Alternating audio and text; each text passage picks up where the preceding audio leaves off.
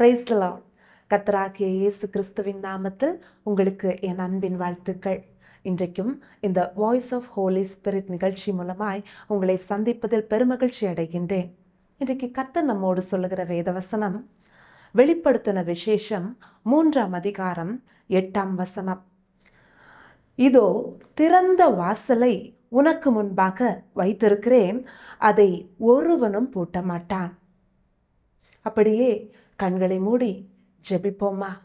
அன்பின் பரலோக தகப்பனே இந்த மகிமையான இந்த வேலைக்காக உமக்கு ஸ்தோத்திரம் ஏசப்பா. இந்த நாளிலும் கத்தர் இந்த நிகழ்ச்சி மூலமாய் அப்பா உம்முடைய பிள்ளைகளோடு பேச போகிறபடியால் உமக்கு கொடா கொடி நன்றியப்பா ஆண்டவரே நீ திறந்த வாசலை உனக்கு முன்பாக வைத்திருக்கிறேன். அதை ஒருவனும் பூட்ட மாட்டான் என்று நீர் வாக்கு கொடுத்திருக்கிறீர். ஏசப்பா உடைய பிள்ளைகளுக்கான வழியை இன்றைக்கு நீர் திறக்க போகிறபடியால் ஸ்தோத்திரம். பேசுகிறவர் நீங்களல்ல பிதாவின் ஆவியானவரே என்று உம்முடைய வேதவசனம் சொல்கிறது எங்களோடு நீரே பேசும் நாங்கள் கேட்கிறோம். அப்பா உம்முடைய நாமம் மகிமைப்படுவதாக. அப்பா நீரே அற்புதத்தை செய்யும். நீரே வழிகளை திறந்த அற்புதத்தை செய்யுங்க. உம்முடைய கரத்தில் எங்களை தாழ்த்தி தருகிறோம். இயேசுவின் நாமத்தில் பிதாவே. ஆமேன். வெளிப்படுத்தின விசேஷம் மூன்றாம் அதிகாரம் எட்டாம் வசனத்துல உன் கிரியைகளை அறிந்திருக்கிறேன் உனக்கு கொஞ்ச பலன் இருந்தும் நீ என் நாமத்தை மறுதலியாமல் என் வசனத்தை கை கொண்டபடியினாலே இதோ திறந்த வாசலை உனக்கு முன்பாக வைத்திருக்கிறேன் அதை ஒருவனும் பூட்ட மாட்டான் இதோ திறந்த வாசலை உனக்கு முன்பாக வைத்திருக்கிறேன் அதை ஒருவனும் பூட்ட மாட்டான் என்பதாய் பார்க்கின்றோம். அருமையான தேவனுடைய பிள்ளைகளே கர்த்தர் உன்னுடைய வாழ்க்கையிலே வாசலை திறந்த வாசலை வைத்திருக்கிறார் என்றால் ஒரு வாசலை ஒரு வழியை திறப்பார் என்றால் அதை ஒருவனாலும் எந்த சத்ருவாலும் அதை அடைக்க முடியாது. வெளிப்படுத்தின விசேஷம் மூன்றாம் அதிகாரம் ஏழாம் வசனத்துல நம்ம பார்க்கும் பொழுது ஒருவரும் பூட்டக்கூடாதபடிக்கு திறக்கிறவர் ஒருவரும் திறக்க கூடாதபடிக்கு பூட்டுகிறவர் நம்முடைய தேவன். சத்துரு உன் வாழ்க்கையில உன்னுடைய நன்மையின் வாசலை உன்னுடைய ஆசிர்வாதத்தின் வாசலை ஒருவேளை அடைத்து வைத்திருக்கலாம். கர்த்தர் இன்றைக்கு வாக்கு கொடுக்கிறார் இதோ திறந்த வாசலை உனக்கு முன்பாக வைத்திருக்கிறேன் என்பதாய். இனி சத்துருவால் உன்னுடைய ஆசிர்வாதத்தின் உன்னுடைய நன்மையின் வாசலை அடைக்க முடியாத தேவ பிள்ளையே. வெளிப்படுத்தின விசேஷம் மூன்றாம் அதிகாரம் இருபதாம் வசனத்துல நம்ம பார்க்கும் பொழுது இதோ வாசற்படியில் நின்று தட்டுகிறேன். ஒருவன் என் சத்தத்தை கேட்டு கதவை திறந்தால் அவனிடத்தில் நான் பிரவேசித்து அவனோடே போஜனம் பண்ணுவேன். அவனும் என்னோடே போஜனம் பண்ணுவான் என்பதாய் பார்க்கின்றோம். அருமையான தேவனுடைய பிள்ளையே இயேசுவுக்கு உன் இருதயத்தின் கதவை நீ திறந்தால் இயேசுவுக்கு உன் இருதயத்திலே நீ இடம் கொடுத்தால் அவர் உனக்கான வழிகளை திறப்பார். அவர் நம்மில் வந்து வாசம் பண்ணுவார். நமக்கான நன்மையின் வாசலை ஆசீர்வாதத்தின் வாசலை நம்முடைய வாழ்க்கையில திறந்து நம்மை மேன்மைப்படுத்துவார். ஒன்று குருந்திய மூன்றாம் அதிகாரம் பதினாறு பதினேழு ஆகிய வசனங்களை நாம் பார்க்கும்போது நீங்கள் தேவனுடைய ஆலயமாய் இருக்கிறீர்கள் தேவனுடைய ஆவி உங்களில் வாசமாய் இருக்கிறார் என்றும் அறியாதிருக்கிறீர்களா? ஒருவன் தேவனுடைய ஆலயத்தை கெடுத்தால் அவனை தேவன் கெடுப்பார். தேவனுடைய ஆலயம் பரிசுத்தமாய் இருக்கிறது நீங்களே அந்த ஆலயம் என்பதாய் பார்க்கின்றோம். அருமையான தேவ பிள்ளையே நீங்கள்தான் தேவனுடைய ஆலயம்.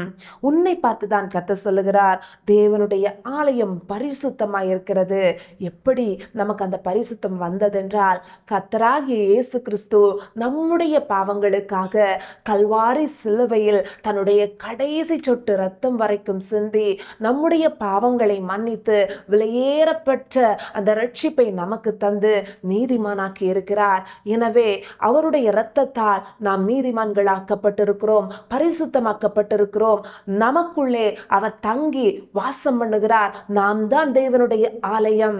இன்றைக்கு ஒருவேளை சமாதானம் இல்லாம சந்தோஷம் இல்லாம இருக்கிறீங்களா? வேதனையோடு அந்த நிகழ்ச்சியை நீங்க ஒருவேளை பார்த்து கொண்டிருக்கலாம். கர்த்தராகிய இயேசுவால் மெய்யான சமாதானத்தையும் மெய்யான சந்தோஷத்தையும் உங்கள் வாழ்க்கையில நிச்சயமாய் தர முடியும். கர்த்தராகிய இயேசு கிறிஸ்துவ முழு இருதயத்தோடு விசுவாசித்து எனக்காக தான் கல்வாரி சிலுவையிலே தன்னுடைய ஜீவனை இயேசு ஒப்பு கொடுத்தார் எனக்காகவே தான் அந்த பாடுகளை நான் சுமக்க வேண்டிய நிந்தனைகளை அவர் சுமந்து தீர்த்தார் என்பதை நாம் விசுவாசித்து அவரை ஏற்றுக்கொள்ளும் போது அந்த மெய்யான ரட்சிப்பின் சந்தோஷத்தை சமாதானத்தை கத்தராகிய இயேசு கிறிஸ்து நமக்கு தருகிறார். அந்த மெய்யான தேற்றர வாழனாகிய பரிசுத்த ஆவியானவர் நம்மில் வாசம் பண்ணுகிறார். நம்முடைய இருதயத்தில் பரிசுத்த ஆவியானவருக்கு இடம் கொடுத்தால் நிச்சயமாக அவர் நம்மில் வாசம் பண்ணுவார். நம்மை அழிக்க துணிகின்ற பிசாசின் கிரியைகளை தேவன் இன்றைக்கு கெடுப்பார். மட்டுமல்ல உன்னை தேவன் வெற்றியின் பாதையில் நடத்துவார். ஒன்று குருந்தியர் ஆறாம் அதிகாரம் பத்தொன்பது இருபது ஆகிய வசனங்களை நாம் பார்க்கும்போது உங்கள் சரீரமானது நீங்கள் தேவனாலே பெற்றும் உங்களில் தங்கியும் இருக்கிற பரிசுத்த ஆவியனுடைய ஆலயமாய் இருக்கிறது என்றும் நீங்கள் உங்கள் உடையவர்கள் அல்லவென்றும் அறியீர்களா? கிரயத்துக்கு கொள்ளப்பட்டீர்களே ஆகையால் தேவனுக்கு உடையவைகள் ஆகிய உங்கள் சரீரத்தினாலும் உங்கள் ஆவியினாலும் தேவனை மகிமைப்படுத்துங்கள்.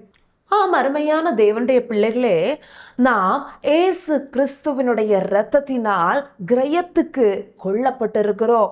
நம்மை அவர் பாவத்தின் அடிமைத்தனத்திலிருந்து சாபத்தின் அடிமைத்தனத்திலிருந்து விடுதலையாக்கி நம்மிலே அவர் வாசம் பண்ணுகிறார். அவருடையவர்களாய் நம்மை மாற்றி இருக்கிறார் எனவே நாம் நம்முடைய சரீரத்தாலும் ஆவியினாலும் தேவனை மகிமைப்படுத்த வேண்டும். ரெண்டு குருந்தியர் ஆறாம் அதிகாரம் பதினாறாம் வசனத்தில் நாம் பார்க்கும்போது நான் அவர்களுக்குள்ளே வாசம் பண்ணி அவர்களுக்குள்ளே உலாவி அவர்கள் தேவனாயிருப்பேன் அவர்கள் என் ஜனங்களாயிருப்பார்கள் என்று தேவன் சொன்னபடி நீங்கள் ஜீவனுள்ள தேவனுடைய ஆலயமாயிருக்கிறீர்கள் என்று பார்க்கிறோம். நாம் ஜீவனுள்ள தேவனுடைய ஆலயமாயிருக்கிறோம். ஜீவனுள்ள தேவன் நமக்குள்ளே வாசம் பண்ணுகிறார். ஜீவனுள்ள தேவன் வாசம் பண்ணுகிற உன்னுடைய சரீரத்துல வியாதிக்கு அதிகாரம் இல்லை பாவத்துக்கு அதிகாரம் இல்லை. சாப கட்டுகளுக்கு அதிகாரம் இல்லை இன்றைக்கு அவைகளிலிருந்து தேவன் உனக்கு விடுதலையை கொடுக்கிறார். விசுவாசத்தோடு விடுதலையை பெற்றுக்கொள். விசுவாசத்தோடு ஆண்டவரிடத்துல அர்ப்பணிங்க. ஆண்டவர் இன்றைக்கு உங்களுக்கு ஒரு விடுதலையை தருகிறார். அப்போஸ்தலர் பனிரெண்டாம் அதிகாரம் ஒன்று முதல் பத்து வரை நாம் பார்க்கும் பொழுது அக்காலத்திலே ஏரோது ராஜா சபையிலே சிலரை துன்பப்படுத்த தொடங்கி யோவானுடைய சகோதரனாகிய யாக்கோபை பட்டயத்தாலே கொலை செய்து அது யூதருக்கு பிரியமாயிருக்கிறது என்று அவன் கண்டு பேதுருவையும் பிடிக்க தொடர்ந்தான். அப்பொழுது புளிப்பில்லா அப்ப பண்டிகை நாட்களாயிருந்தது. அவனை பிடித்து சிறைச்சாலையிலே வைத்து பஸ்கா பண்டிகைக்கு பின்பு ஜனங்களுக்கு முன்பாக அவனை வெளியே கொண்டு வரலாம் என்று எண்ணி அவனை காக்கும்படி வகுப்புக்கு நான்கு போர் சேவகராக ஏற்படுத்திய நான்கு வகுப்புகளின் வசமாக ஒப்புவித்தான். அப்படியே பேதுரு சிறைச்சாலையிலே காக்கப்பட்டிருக்கையில் சபையார் அவனுக்காக தேவனை நோக்கி ஊக்கத்தோடே ஜெபம் பண்ணினார்கள். ஏரோது அவனை வெளியே கொண்டு வரும்படி குறித்திருந்த நாளுக்கு முந்தின நாள் ராத்திரியிலே பேதுரு இரண்டு சங்கிலிகளினாலே கட்டப்பட்டு இரண்டு சேவகர் நடுவே நித்திரை பண்ணி கொண்டிருந்தான் காவற்காரரும் கதவுக்கு முன்னிருந்து சிறைச்சாலையை காத்து கொண்டிருந்தார்கள் அப்பொழுது கர்த்தருடைய தூதன் அங்கே வந்து நின்றான். அறையிலே வெளிச்சம் பிரகாசித்தது. அவன் பேதர்வை விழாவிலே தட்டி சீக்கிரமாய் எழுந்திரு என்று அவனை எழுப்பினான். உடனே சங்கிலிகள் அவன் கையிலிருந்து விழுந்தது. தூதன் அவனை நோக்கி உன் அறையை கட்டி உன் பாதரட்சைகளை தொடுத்துக்கொள் என்றான். தூதன் பின்னும் அவனை நோக்கி உன் வஸ்திரத்தை போர்த்து கொண்டு என் பின்னே வா என்றான். அந்தபடியே அவன் புறப்பட்டு அவனுக்கு பின் சென்று தூதனால் செய்யப்பட்டது மெய்யென்று அறியாமல் தான் ஒரு தரிசனம் காண்கிறதாக நினைத்தார். அவர்கள் முதலாம் காவலையும் இரண்டாம் காவலையும் கடந்து நகரத்திற்கு போகிற இருப்பு கதவண்டையிலே வந்தபோது அது தானாய் அவர்களுக்கு திறவுண்டது. அதன் வழியாய் அவர்கள் புறப்பட்டு ஒரு வீதி நெட்டுக்க நடந்து போனார்கள். உடனே தூதன் அவனை விட்டு போய்விட்டான். ஆம் அருமையான தேவனுடைய பிள்ளைகளே இந்த வசனத்தில் நம்ம பார்க்கும் பொழுது யாக்கோபை பட்டயத்தினாலே கொலை செய்திருக்கிறாங்க. ஆனால் ஆறாம் வசனத்தில் நம்ம பார்க்கும் பொழுது பேதுரு இரண்டு சங்கிலிகளினாலே கட்டப்பட்டு இரண்டு சேவகர் நடுவே நித்திரை பண்ணி கொண்டிருந்தானா? எப்படி அவனால் முடிந்தது? அடுத்த நாள் அவன் எழும்பினால் அவனுடைய தலையும் வெட்டப்படும். அப்படிப்பட்ட சூழ்நிலை தான் அவனுக்கு இருக்கிறது என்று அவனுக்கு நன்றாகவே தெரியும். ஆனாலும் அவனால் எப்படி நித்திரை பண்ண முடிந்தது? பயமில்லாம எப்படி இரண்டு சங்கிலிகளின் நடுவே இருந்த போதும் அவனால் எப்படி நித்திரை பண்ண முடிந்தது? பரிசுத்த ஆவியானவர் தைரியப்படுத்துகிறவர். பரிசுத்த ஆவியானவர் பலப்படுத்துகிறவர். பேதர்வுக்குள் வாசம் பண்ணினவர் பரிசுத்த ஆவியானவர். ஆவியானவர் பேதுருவுக்குள் இருந்ததால பேதுருக்கு கவலை வரல. அங்கு அவனுக்காக கதவுகள் தானாய் திறவுண்டது என்பதாய் பார்க்கின்றோம்.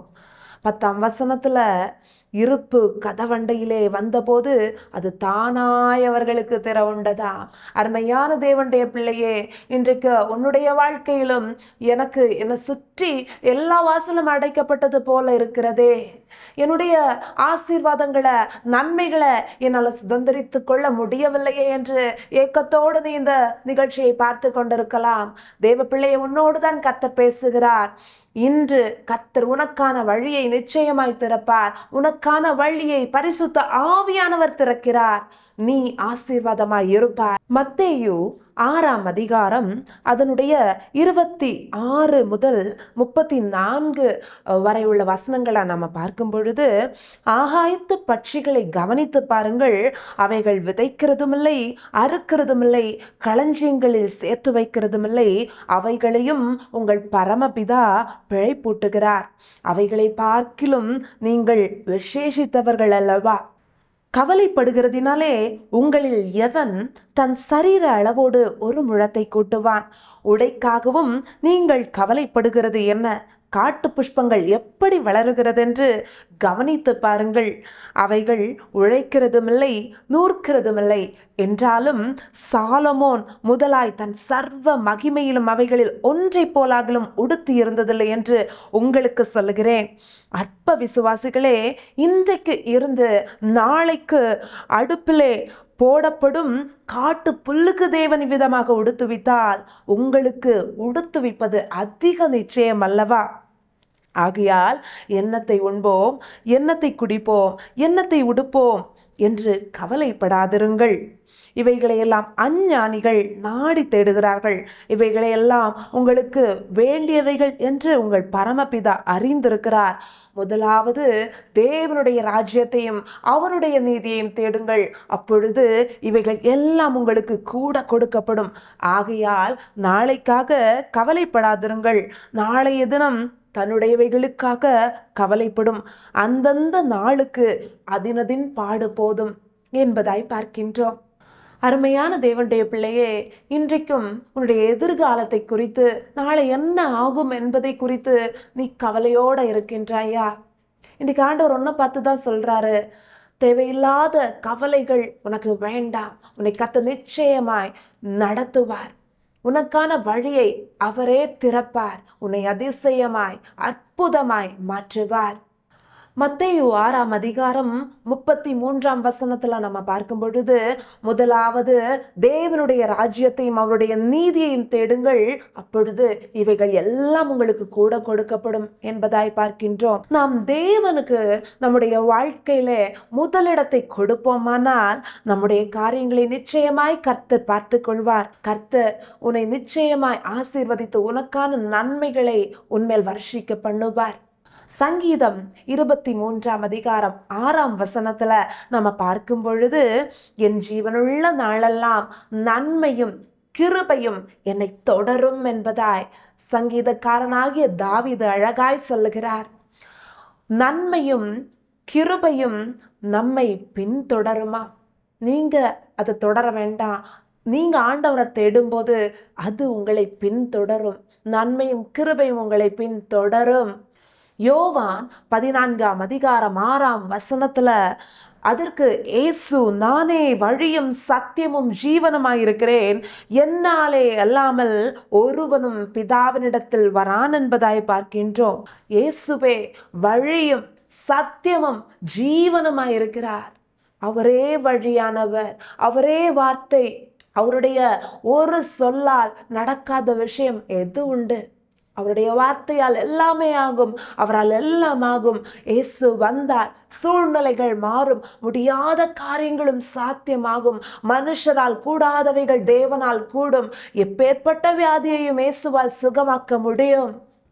விசுவாசிக்கிறவனுக்கு எல்லாம் கூடும். நீ இன்றைக்கு விசுவாசித்தால் நிச்சயம் தேவனுடைய மகிமையை காண்பாய் தேவ பிள்ளையே யோவான் பத்தாம் அதிகாரம் ஒன்பதாம் வசனத்துல நம்ம பார்க்கும் பொழுது நானே வாசல் என் வழியாய் ஒருவன் உட்பிரவேசித்தால் அவன் ரட்சிக்கப்படுவான் அவன் உள்ளும் புறமும் சென்று மேய்ச்சலை கண்டடைவான் என்பதாய் பார்க்கின்றோம். நீங்கள் இயேசுவுக்கு உள்ளிருந்தால் நீங்கள் நிச்சயம் ரட்சிக்கப்படுவீர்கள் ஆவிக்குரிய ஆசிர்வாதத்தினாலும் பூமிக்குரிய ஆசிர்வாதத்தினாலும் நிச்சயமாய் இயேசு நம்மை ஆசிர்வதிப்பார். கத்ராகி இயேசு கிறிஸ்துவ விசுவாசித்து நம்முடைய இருதயத்தில் அவருக்கு இடம் கொடுத்தார். நிச்சயமாய் அவர் நம்முடைய வாழ்க்கையை புல்லுள்ள மேய்ச்சலை போல செழிப்பாய் மாற்றுவார். அவர் வந்தால் நிச்சயமாய் வறண்ட நிலங்கள் கூட வயல்வெளியாகும். இதோ திறந்த வாசலை உனக்கு முன்பாக வைத்திருக்கிறேன். அதை ஒருவனும் பூட்ட மாட்டான் என்று கத்தர் இன்றைக்கு உன்னோடு இடைப்படுகிறார் தெய்வ பிள்ளையே நிச்சயமாய் உனக்கான ஆசிர்வாதத்தின் வாசலை நன்மையின் வாசலை ரட்சிப்பின் வாசலை இன்றைக்கு திறக்கிறார். அதை ஒருவனும் பூட்ட மாட்டான் அருமையான தேவனுடைய பிள்ளையே கடன் பிரச்சனையினால நீ இன்னைக்கு சோர்ந்து போய் என்னால் இதை எப்படி நான் ஓவர் கம் பண்ண முடியும்? இதிலிருந்து எப்படி நான் வெளியே வர முடியும்னு உன்னுடைய இருதயத்தில் நீ கவலையோட ஒரு கன்ஃபியூஷனோட இருக்கிறியா? ஆண்டவர் இன்னைக்கு உன்னை பார்த்து தான் சொல்றாரு. உனக்கான வழியை கத்து நிச்சயமாய் திறப்பார். முதலாவது தேவனுடைய ராஜ்யத்தையும் அவருடைய நீதியையும் தேடு. கத்து நிச்சயமாய் உனக்கான வழியை திறந்து உன்னுடைய கடன் பிரச்சனையிலிருந்து உனக்கு விடுதலையை தந்து உன்னை வாழ வைப்பார். உனக்கு அற்புதத்தை செய்வார். வியாதியோட நீ இன்னைக்கு இந்த நிகழ்ச்சியை பார்த்துட்டு இருந்தனா உன்னுடைய சரீரம் தேவனுடைய ஆலயம். உன்னை கெடுக்க துடிக்கிற பொல்லாத பிசாசின் கிரியைகளை தேவன் கெடுப்பார். உனக்கு வியாதியிலிருந்து நிச்சயமாய் விடுதலையை தந்து உன்னை வாழ வைப்பார். அப்படியே கண்களை மூடி ஜெபிப்போமா? அன்பின் பரலோக தகப்பனே இந்த மகிமையான இந்த வேலைக்காக உமக்கு ஸ்தோத்திரம் ஏசப்பா. கர்த்தாவே இன்றைக்கு எங்களோடு நீங்கள் பேசியிருக்கிறீங்கப்பா. ஆண்டவரே ஒருவனும் அப்பா ஏசப்பா நீர் திறந்த வாசலை ஒருத்தனாலையும் பூட்ட முடியாதே கத்தாவே ஏசப்பா இதோ திறந்த வாசலை உனக்கு முன்பாக வைத்திருக்கிறேன். அதை ஒருவனும் பூட்ட மாட்டான் என்று எங்களுக்கு இன்றைக்கு வாக்கு கொடுத்துருக்கிறீரே. நீர் வாக்கு மாறாதவரப்பா.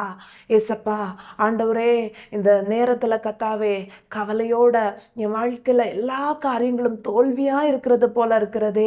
என்னுடைய வாழ்க்கையில் நான் ஒரு நன்மையை காண முடியலையே. கடன் பிரச்சனையினால் என்னுடைய குடும்பம் ஏசப்பா ஆண்டவரை அழிவுக்கு நேராய் சென்று விடுமோ? நான் தோல்வி அடைந்து விடுவேனோ? என்று ஏக்கத்தோட இந்த நிகழ்ச்சியை அப்பா இந்த வசனத்தை கேட்டுக்கொண்டிருக்கிற உடைய பிள்ளையை கற்று தொட்டு அவர்களை அற்புத சாட்சியாய் நிறுத்தி ஆண்டவரை மகிமையின் பாதையில் நடத்த புகிறபடியால் மக்கு ஸ்தோத்திரம் கத்தாவே ஏசப்பா ஆண்டவரே இந்த உலகத்தில் நான் எதற்கு என்னை ஆண்டவர் இப்படி வைத்திருக்கிறார் என்று என்னுடைய வாழ்க்கைக்கு ஒரு அர்த்தமே இல்லையா என்று ஏசப்பா புலம்பிக் கொண்டிருக்கிற ஆண்டவரே ஆத்துமாவை கத்த சந்திங்கப்பா. ஆண்டவரே அப்பா நீரப்பா ஒருத்தரை கத்தாவே தெரிந்து கொண்டால் நீர் அழைத்தால் கத்தாவே நீர் உண்மையுள்ளவராய் இருக்கிறீர். அப்பா எப்படிப்பட்ட பாத்திரத்தையும் பிரயோஜனப்படுத்த உம்மால் ஆகும் கத்தாவே நீர் அழைத்து ஆண்டவரே பரிசுத்தப்படுத்தி அப்பா நீதிமானாய் உடைய இரத்தத்தால் மாற்றி அப்பா அப்பா ஏசப்பா மகிமையின் பாதையில் நடத்துகிற தேவன். ஹalleluya ஏசப்பா கத்தாவே அப்பா நாங்கள் நிற்பதும் நீர் மூலமாகாமல் இருப்பதும் உம்முடைய சுத்த கிருபை மாத்திரமே. மனுஷனால் கூடாத காரியம் உம்மால் கூடும் தகப்பனே. அப்பா திக்குவாயும் மந்த நாவும் உள்ள மோசையை பயன்படுத்தி கத்தாவே இஸ்ரவேல் மக்களை அப்பா எகிப்திலிருந்து புறப்பட பண்ணின போது அப்பா மோசையை கொண்டு கத்த பயன்படுத்தி அப்பா அவர்களை அழகாய் வழி நடத்தினீரே அப்பா ஏசப்பா அப்பா அப்பா எவரையும் பயன்படுத்த உம்மாலாகும் கத்தாவே. இந்த நிகழ்ச்சியை கத்தாவை பார்த்து கொண்டிருக்கிற உங்களுடைய பிள்ளை மேலே உங்களுடைய அபிஷேகத்தின் கரத்தை கத்தர் வைக்கிறபடியால் ஸ்தோத்திரம். அப்பா கர்த்தாவே ஏசப்பா அவர்கள் வாழ்க்கையில நீரே வழிகளை திறந்து அவர்களை சாட்சியாய் நிறுத்த போகிறபடியால் உமக்கு ஸ்தோத்திரம் ஏசப்பா. ஆண்டவரே உம்முடைய நாமம் மகிமைப்படுவதாக உம்முடைய கிரியைகள் வெளிப்படுவதாக பரிசுத்தாவியானவர் எங்கே உண்டோ அங்கே விடுதலை உண்டு என்று உடைய வேதவசனம் சொல்லுகிறது ஏசப்பா. அப்பா பரிசுத்தாவியானவரை நீர் விடுதலை கொடுக்கிறவர். இப்பொழுதே உடைய பிள்ளைகளுக்கு நீர் விடுதலையை கொடுத்து அற்புத சாட்சியாய் அப்பா அதிசயமாய் கத்தாவை நிறுத்துகிறபடியால் மக்கு நன்றி. கத்தாவே நீரே வாசலை திறந்து விட்டபடியால் ஸ்தோத்திரம். அப்பா உம்முடைய நாம மகிமைப்படுவதாக கத்த பெரிய காரியங்களை செய்யும் இயேசுவின் நாமத்தில் பிதாவே ஆமே கர்த்ததாமே இந்த வார்த்தைகள் மூலமாய் நம்மை ஆசீர்வதிப்பாராக. ஆமே காட் பிளஸ் யூ